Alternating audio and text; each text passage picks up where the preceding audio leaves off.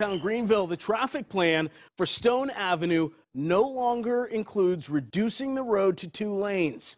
WYFF News 4's Corey Davis is live here in the studio with clarification from a city official. Corey. Nigel, we're told that the original master plan to make Stone Avenue two lanes wasn't approved by the State Department of Transportation. Now today, council member Amy Ryberg Doyle told us the plan will now focus on this triangle-shaped property at Stone, Wade Hampton, and Church Street. This is the north end of downtown Greenville where a developer wants to build a Harris Teeter grocery store and hundreds of apartments.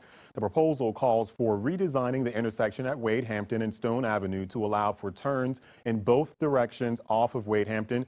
Now Dial says uh, Doyle says 16 crosswalks with blinking lights will be added with wider sidewalks.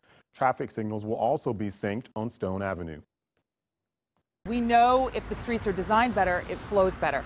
But there will be traffic but we, we want to see these, this development. It will provide a lot of jobs. It'll provide some great housing and certainly an amenity that the north end of town and all of these neighborhoods have wanted for several years. Now, we learned from a study that more than 70,000 people live within three miles of the Stone Avenue North Main area. Right now, just over 20,000 cars travel on Stone Avenue every day.